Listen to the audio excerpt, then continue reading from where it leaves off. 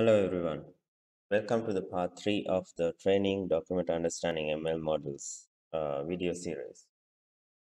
So, in the previous video, we discussed how to generate the training data through the document understanding workflow and upload it to data manager manually and then perform the ML training. But this process that I showed you in the previous video was something that you have to do manually. And uh, when you are dealing with large amounts of documents, it's not possible to sit down and go through each and every document uh, and do the verification and perform the uh, the machine learning training. So to address that, in this video, we'll see what are the features that's available in the latest version of UiPath platform and see how we can do that. So let's get to the workflow and the AI center.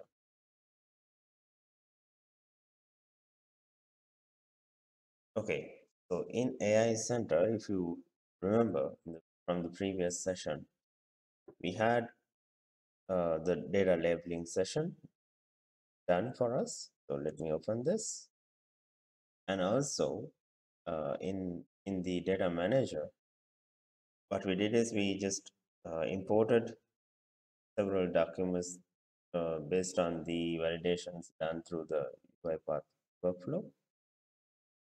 And that's what we exported and then trained the model. So in here, now what we are talking about is how we can do the same steps automatically without someone manually logging into the data manager and doing the import and export.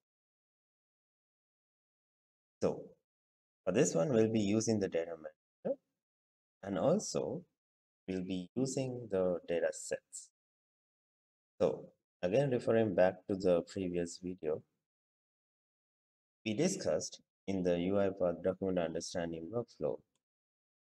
Down here, we introduce the train extractor scope activity along with machine learning extractor train activity. And we showed how the training data is generated and how it is uploaded to the uh, data set in the AI center. And also we discussed how and where we can store this same training data locally. So just to brief uh, you on that, so let's quickly look at the local version. So in this one, we'll see the documents where we have all the process documents and the metadata in, in JSON format. So this will basically have all the validated information and the locations of the fields and every single thing that you can find in the document. These files are generated from this activity. Also, if you look at this data set in the AI Center, you will see the same set of folders and the same files because it's automatically uploading the data into AI Center. So if we get to the data sets, uh, invoice training is our data set. So you can see uh, this export is the folder that was created once we exported the data last time. And the internal one was uh, some internal files that's used by data manager. So what happens here is when you import documents into data manager and do the validation here and then export it, uh, it creates that export file. But as and when the process runs, through this activity, when you upload the documents into the AI Center data set, it will create this fine-tuned folder inside the specified data set. So basically, all the new files that you process will be stored inside this fine-tuned folder.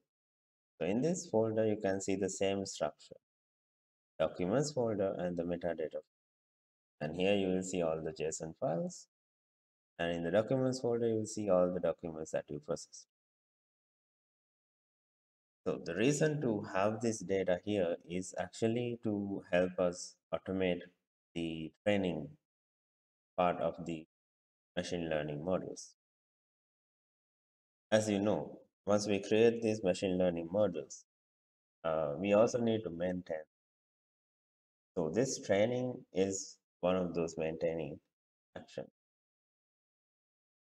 So you might wonder, are we training um, only on the data available in this fine-tune folder? Well, not really.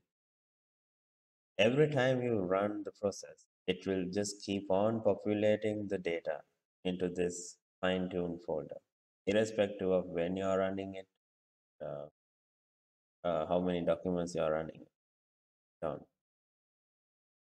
So basically, every time the retraining process happens from now on, it will be processing every single file that you see in the fine-tune folder and also the initial training that you did. So everything will be considered. Every time when you do the retraining, it will be a larger data set than what you trained before. So basically it will be also using the old uh, files that were used to train the previous versions as well to train the newer version. So that's how you improve the accuracy of the machine learning model. All right, so that being said, now we know that whatever the documents that we have in this fine-tune folder will be used to train the data. So now let's have a look how we can get this data, the documents, into the data manager. So in the data manager, this is what we uh, discussed last time, these 10 documents. But how to import the data automatically into data manager. If you actually look at this import, you don't see a auto import or a scheduling option to actually import the data. Basically, the option here is just to uh, browse and upload the document. Basically, if you remember last time what we did was we zipped this folder and then uploaded that. But that was manual. But when it comes to auto retraining, we are not using the local file, the training data that's created. We'll be using the data available in the data set.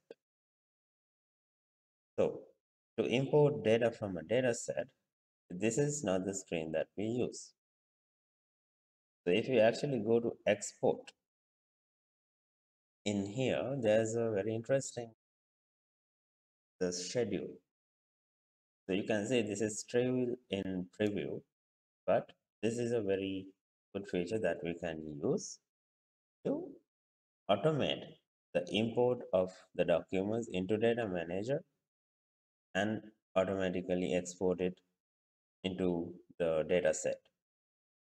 So let's enable this.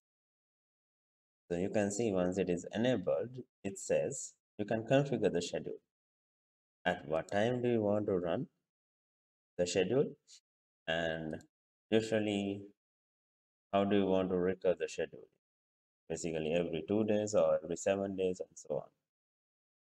So, the recommended approach is not to do the training every day. So, training a, a, machine learning model on a small number of data, like seven or 10 documents, is easy and it's fast. But as I explained earlier, as the process keep on running, it generates more and more data for the model to get trained upon. So at some point, it will be having so much of data and uh, the retraining process will take quite a lot of time to complete. And probably it will take sometimes days, two or three days to complete one iteration.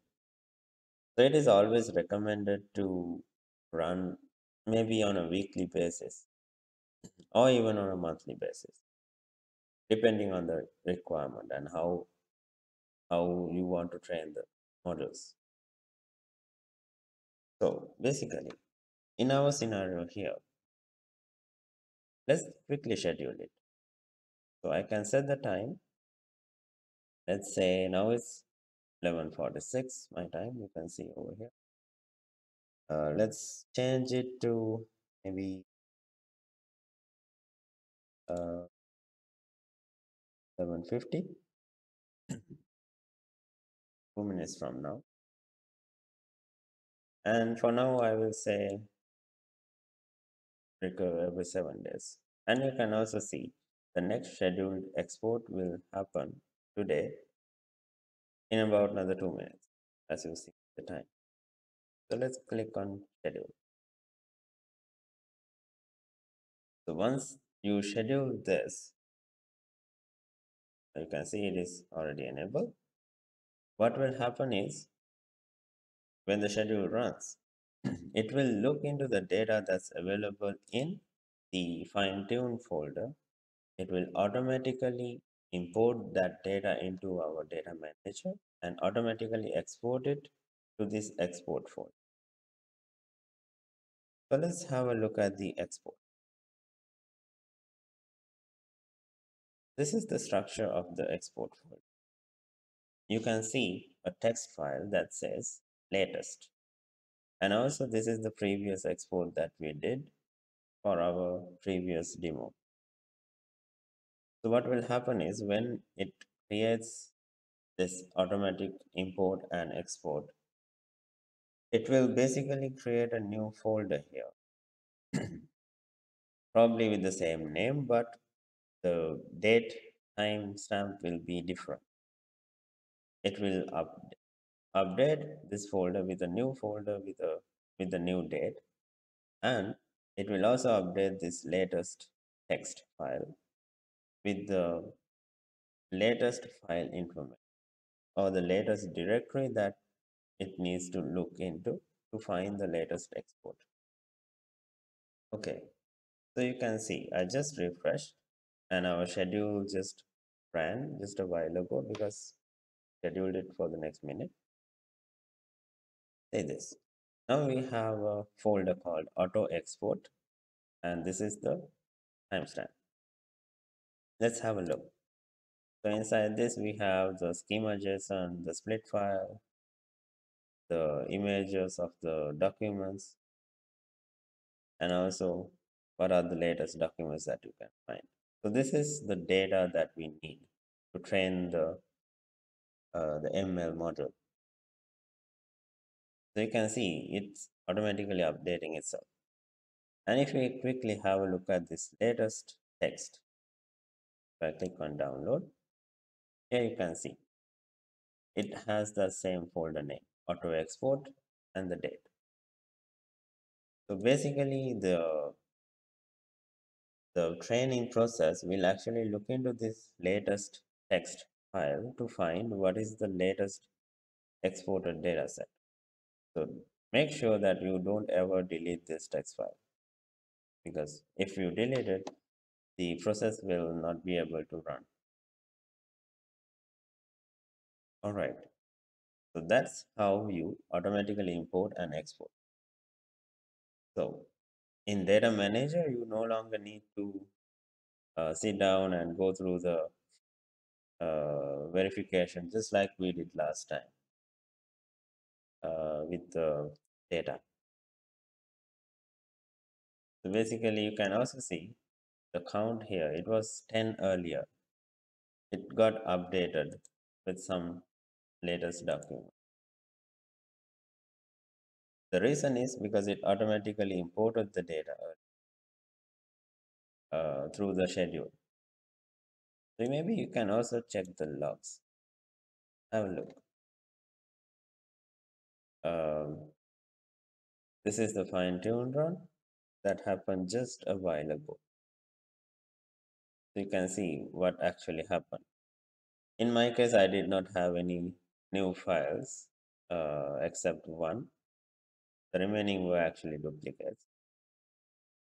So you can see uh, the log says these are duplicate files and there's one fine-tuned documents that it was able to identify. And the processing was complete. So when this happens automatically, only thing that you need to make sure is that you have the proper accurate data to train. So it's always good to keep an overlook or overlook this process to ensure that you don't train the model with bad data or you do the proper verification uh, so that you have the correct information to train the model. That verification and how we are going to do that, that may depend on the uh, the company and the process itself. It's a important thing to keep a note of, though it is automated. Okay, so now we know how it automatically works here in the data manager. And this schedule will keep on running based on how we configured it. The next thing is now we are able to create the training data for us.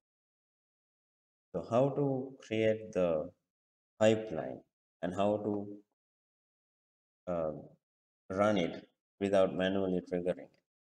Let's have a look. So now we are into the pipelines and let's quickly create a new pipe.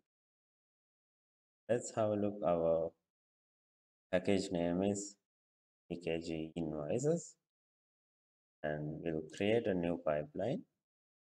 I'm going to say that this is a training pipeline and I'll be using my uh, package and I will be using the version that I'm using right now. Okay, so this is where you choose the data set and this is the important step. So now you know that in the in the export folder that there will be multiple folders created. So how to find that uh, folders? So if you have a look, uh, okay, let me get back here. So once you click on this, it will show all the data sets that's available. So in our case, invoice training is the data set. And if we need to, if we want to go inside, you can click on this, uh, the, on the name, and then you can see the export folder and the internal. So uh, what we are interested is on the export folder and inside that you can have any number of uh, folders but it will look into that latest file and figure out what's the latest export. But still it will use all the information available here to train our pipeline or the model so this is the folder that you need to indicate because that folder has all the information. So let's click on select. So you can see under invoice training dataset, you are selecting the export folder for the training. And this is where you enable the auto retraining. See the parameters.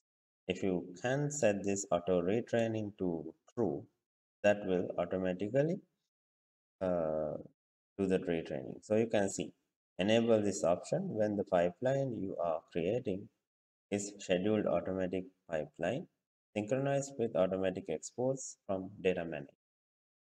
So we have done the first step. We have done the auto export. So now what we are doing is the second step. Auto, auto training of the using the pipeline. Oh, so what we can do is you can click on edit, select this to true, click on save. And then you can also uh, make sure that this pipeline runs based on a schedule. Otherwise, it will just run this particular pipeline and do the auto retrain, but it will not run it again unless someone manually creates the pipeline. So, what this setting that we did here will ensure when the pipeline runs, it will also automatically train the model and upgrade it to the latest version. So for us to ensure the pipeline runs based on a specific uh, schedule, we need to go into these options. So earlier we ran with run now. Now let's see what options we have here. If you click on time based, you get two options. At what time do you want to run this? But this is more like a schedule uh, to, to do only a single run. So if I say run on August 12th at 12 o'clock midnight, it will run the run the pipeline at that time. Once that is complete, it will stop. But in my case, I want to run this on a weekly basis. In that case, I need to click on recurrent. So once you click here, the first run, here we get another option, set recurring schedule. How do you want to run it? Okay, so we have two options, days and advanced.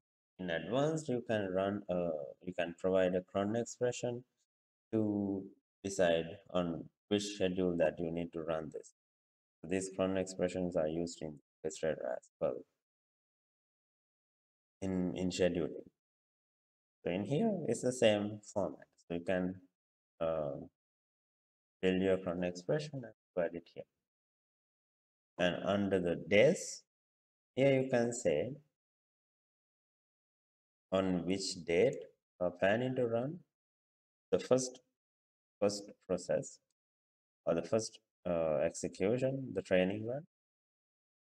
So let's say I will run this at uh, 1 o'clock, 1 a.m., starting uh, 13th. So I will say, starting on this date at 1 a.m., do the first run. And from that onwards, I need to run this training pipeline every seven days.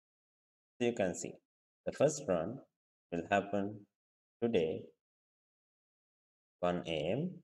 The next scheduled run is 7 days from now and at, at 1 a.m.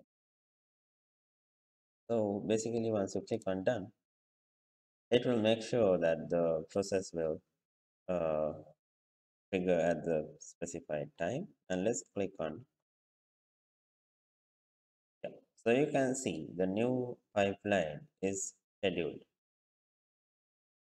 um, so no other additional options and it will start running at the specified time and you can see the logs from. All right. So that's the second step. And now i'm going to show you the third step and this is not mandatory. This is an optional step because we have already figured the schedule the pipeline to do that. So if you go into ml skills here we have the ML model that we have been using. Um, so let's click on this and inside this ML model, you can actually modify the deploy. So let's click on this. This is the interesting feature. So you can see a couple of options over here. You can enable GPU if you have it so that the process the training and the upgrading process will be faster along with the prediction and uh, make ML skill public.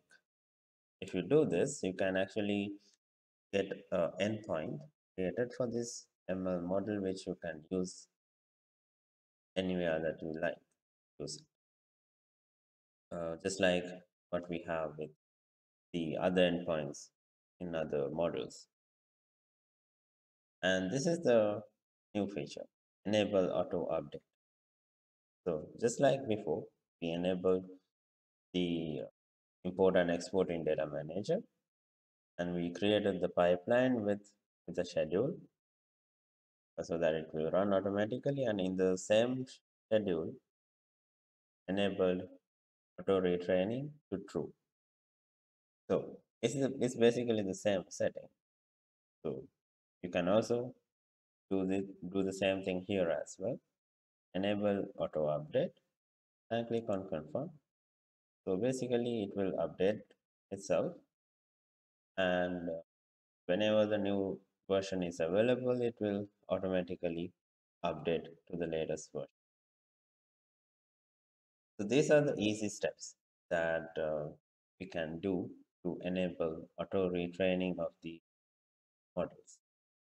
Uh, so that you don't need to manually create schedules and the document verification data center or data manager. Okay, so that's pretty much it on uh, auto retraining. Hope this is video and it's easy. Uh, so in the next video, we'll also see a couple of other features. Uh, in in this import, there were a few features like how to make this uh, test set and what is actually a test set. But will if you do import in a test set, so these things we'll discuss the next part of the. Thank you very much for listening, and I hope this uh, is very much helpful for you guys. And also, just one additional thing for additional reading on auto retraining, you can always refer to this uh, link that explains most of the things that I already explained. I will share the link in the video description. Okay, thank you very much for listening and uh, stay safe. I'll see you in another video.